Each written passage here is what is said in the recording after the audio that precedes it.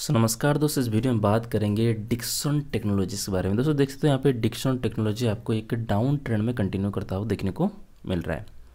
Right दोस्तों, जब stock इस ट्रेन को ब्रेकआउट करेगा तो ऊपर जाने का संभावना आपको देखने को मिल जाएगा। तो अभी के लिए दोस्तों, आप देख रहे हो स्टॉक यहाँ पे रेजिस्टेंस लेके नीचे आता हुआ आपको देखने को मिल रहा है।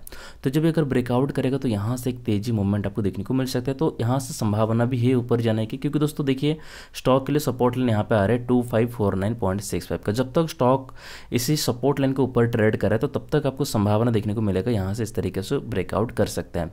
जब इसको ब्रेकडाउन करेगा, तब गिरावट देखने को मिल सकता है। तो अभी के लिए आपको क्या करना चाहिए ना रेजिस्टेंस को फॉलो करना चाहिए यहाँ पे। थ्री ज़ीरो फाइव वन के स्टॉक को पहले तो आप अपना वॉच लिस्ट में ऐड करके रखिए डिक्सन टेक्नोलॉजी को। फिर उसके बाद इसी रेजिस्टेंस को ध्यान में रखिए थ्री ज़ीरो फाइव वन को। जब इसका ब्रेकआउट हो जाएगा तो आपको टारगेट देखने को मिलेगा यहाँ पे।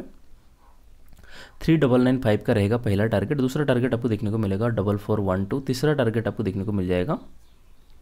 फोर सिक्स सेवन सेवन का। दोस्तों स्टॉप लॉस आपको यहाँ पे टू फाइव फोर नाइन को ध्यान में रखना चाहिए। अगर आप नोटिस करेंगे स्टॉप लॉस के मुकाबले यानी कि रिस्क रिवार्ड लगभग आपको one is to around one is to three का आपको रिस्क रिवार्ड मिलने वाला है। बस ब्रेकआउट का इंतज़ार रखिए राइट तो लास्ट ट्रेडिंग सेशन अगर नोटिस करेंगे, लगभग लगभग आपको ग्रीन कैंडल दिखाई दे रहा है, जो कि ढाई परसेंट का तेज़ी आपको देखने को मिल रहा है।